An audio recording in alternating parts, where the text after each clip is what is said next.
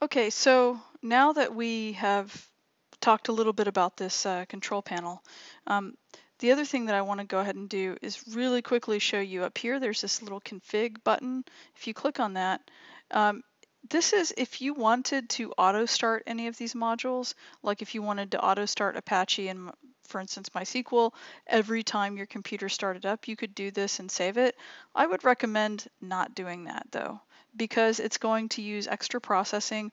And if you're not currently working on, um, you know, your dynamic web files, then really it's it's of no or little use to you. So I would recommend not doing that. Also, you know, it just it's one more thing to, to eat up your services. Okay, so I'm going to close that. But now you know where it is. Next thing I want to show you is um, basically how everything is set up. So before I told you that if you go to all programs and you go to XAMPP and then you come down here and there's this XAMPP htdocs folder, I can click on that. And what this is, if you look at the directory, so it's on your your hard drive, probably your C drive, and then in, in the XAMPP folder, and then there's this htdocs folder. The htdocs folder is going to be your web serving directory. So anything that's inside of that web serving directory is what actually gets served up to the web. Now, what do I mean by getting served up to the web? Let's open up our browser and I want to show you something. So for instance, if I go to um, if I go to Ford.com, for instance, this is something that I can access from anywhere in the world, this www.ford.com domain. That means that it's running on a cloud server somewhere that has the ability to serve pages up to any place in the world, okay? Well, I should say any place where countries don't block outside information, all right? So, uh, for instance, like China blocks some uh, some websites. Okay, so, uh, but if I go to my local computer, local host, right? This is just available on my computer and that's it. Like, so if I were to, you know, run my web service and then I called up a friend and said, hey, or even better yet, you called up your teacher and said, hey, I'm having a problem. Can you look at the stuff on my computer?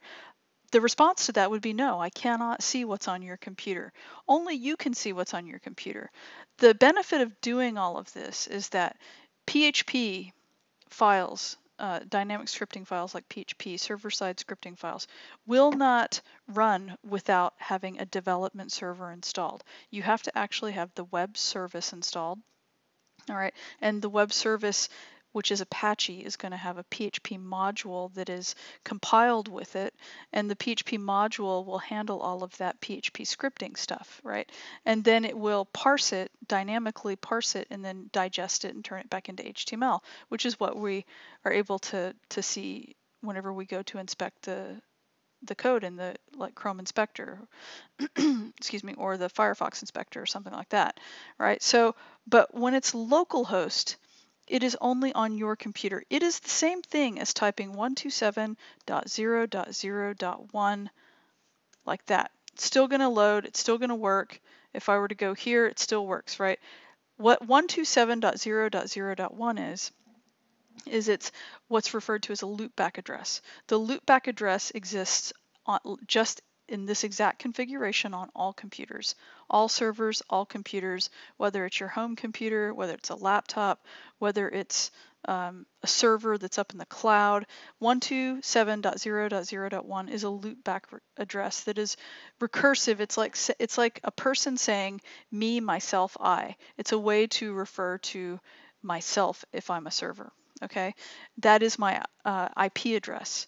Um, and so what happens is that there's a file called the hosts file, which is um, something you could look up on your computer if you wanted. But basically, it's a little text file that's in a specific location, and this is true of Macs and PCs and Linux computers.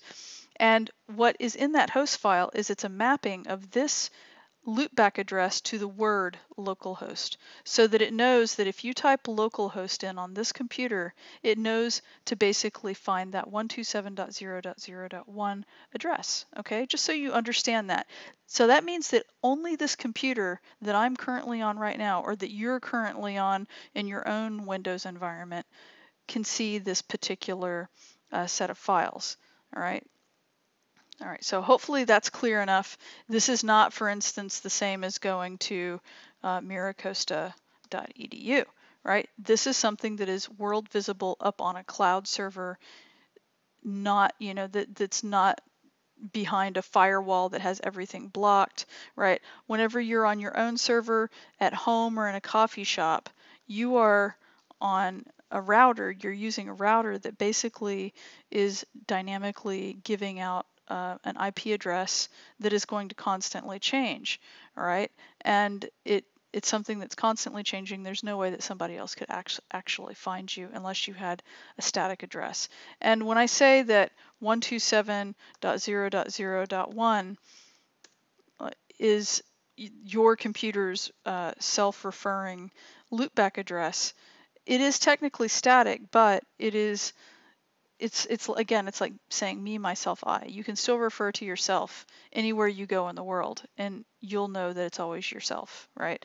But somebody else can't find this address because that literally is the loopback address for every single computer pretty much that's out there right? Okay so you know that, for instance, when you're saying you're referring to yourself, that you're only referring to yourself, and that when someone else refers to themselves, they're only referring to themselves, right? So, same principle. Okay, so now that that is straight, let me show you where this is being served up. Basically, anything that is, I'm going to type localhost again, okay? So anything that is in this localhost directory is basically equivalent to what is in the htdocs directory because the htdocs directory is the web serving folder on your computer with the XAMPP um, installation. Okay, now what you're going to notice is if you just type localhost right now and you click return, it automatically redirects you to the dashboard. I'm going to explain why that's happening if you look inside of htdocs, there's this folder called dashboard, and you see that it's sort of tit for tat, right? You've got localhost slash dashboard. Well, it's like saying htdocs slash dashboard, okay? So what's happening though is it's finding this index file, which is a PHP file. I'm going to open this. So what it's doing, uh, you don't have to understand exactly all of what it's doing, but basically it's saying, hey, if this condition is true, basically if the, the server is running, um, then what it's going to do is give it a header redirection and it's going to relocate it so that it directs it to the dashboard folder. That's basically what it's going to do. And if the service isn't running, then it's going to say something's wrong with the with the XAMPP installation, right? So what we can do is that it's automatically finding that file because it's called index.php. If we just rename it and call it like index dash original, something like that, okay?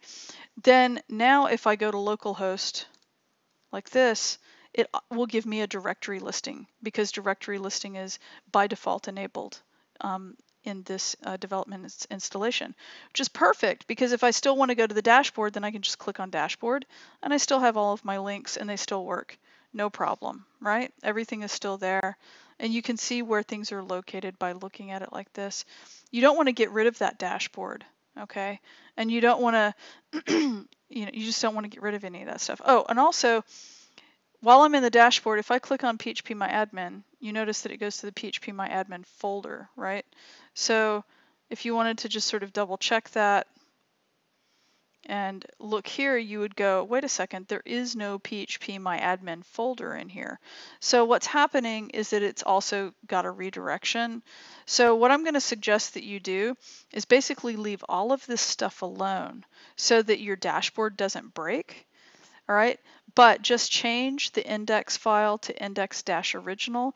And then what you could do is you can make a new folder inside of here just inside of the htdocs folder, you're going to make a new folder and you're just going to call it dev. and it stands for development, but it's nice and short and it's easy to type. And this is where you can put like your testing files, your development files and stuff like that, okay?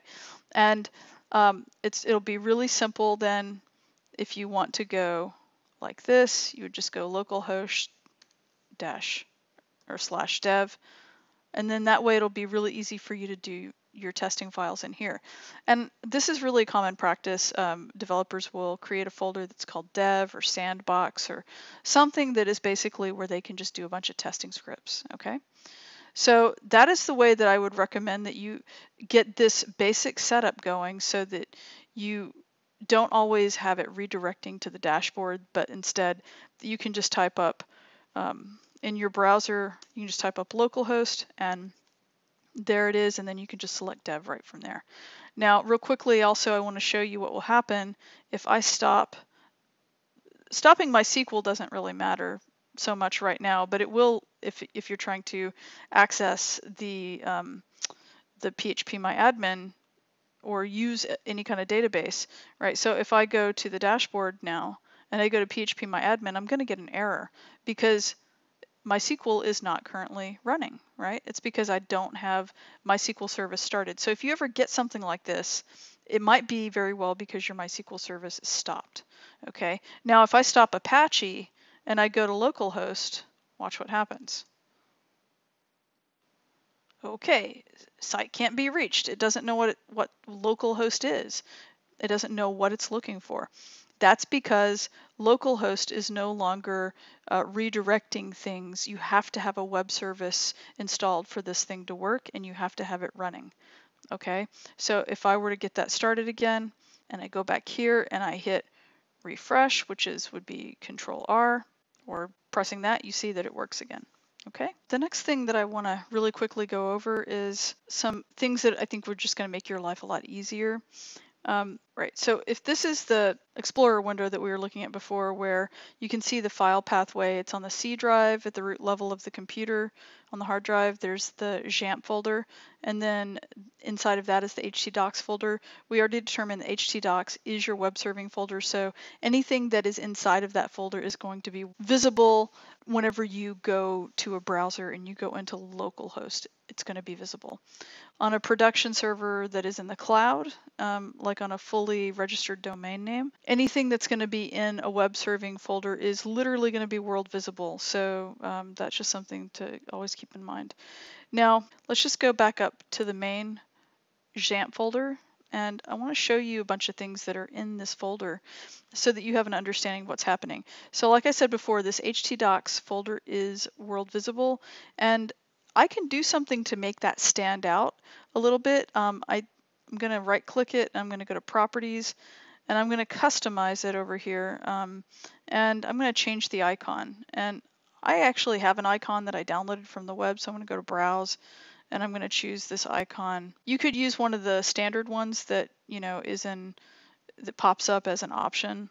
And I'm going to click OK and apply it. And what that does is that it makes it stand out. It's really clear that that's my web serving folder. So I can right click this and I can create a shortcut and I can drag it over here to the desktop. I could just change it to htdocs. And as long as you have that little arrow, you know that it's just a shortcut or an alias. That way I can always just jump to it really easily, right? And then I can just create new files or drag and drop stuff in and out of here. Just remember that your stuff has to be in this htdocs folder for it to be web visible. So if you're working on your desktop in some other folder and saving your PHP files and then you go to localhost to look at it, it's not going to work unless you put that folder inside of here, right? So just remember that, okay?